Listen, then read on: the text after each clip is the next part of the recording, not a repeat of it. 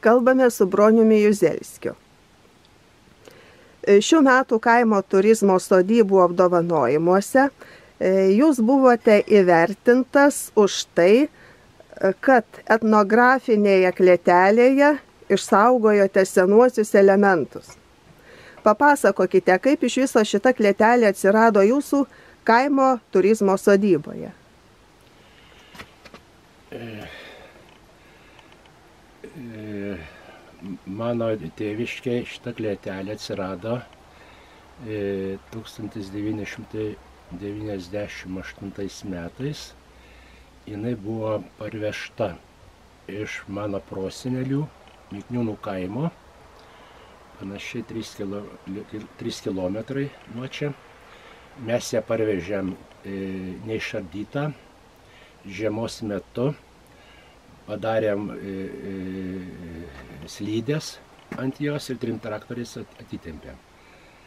Po to, reiškia, restauravom, e, išardėm ją vietoj, susamanojom, išlaikėm tokį autentiškumą, stogą balanam iš, išdėjom, kur apie 4000 balanų mums gavosi, vynių 12 tūkstančių.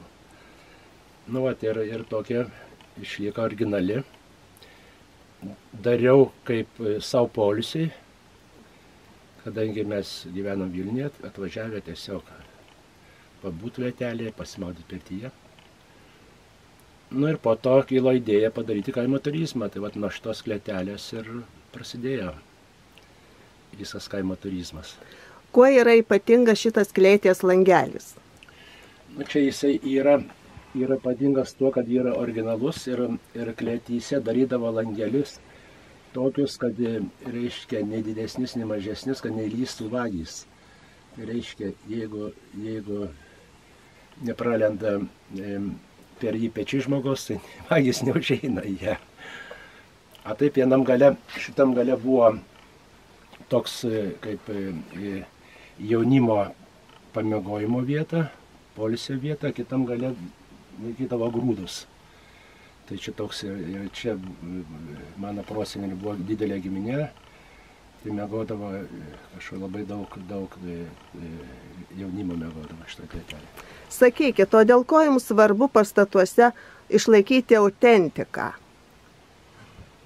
Nu, svarbu tame, kad yra vis tik tai pastatas yra šimto ar daugiau metų, kažkokią tai skleidžia gerą aurą, tiesiog prie to medžio gerą prisiliesti reiškia ir, ir jame gera būti, kadangi yra mažai, mažai išsaugota tokių pastatų, ypač žmonės, kad važiuoja iš miesto, jie tiesiog, tiesiog džiaugiasi, kad tokiai pabūna klėteliai.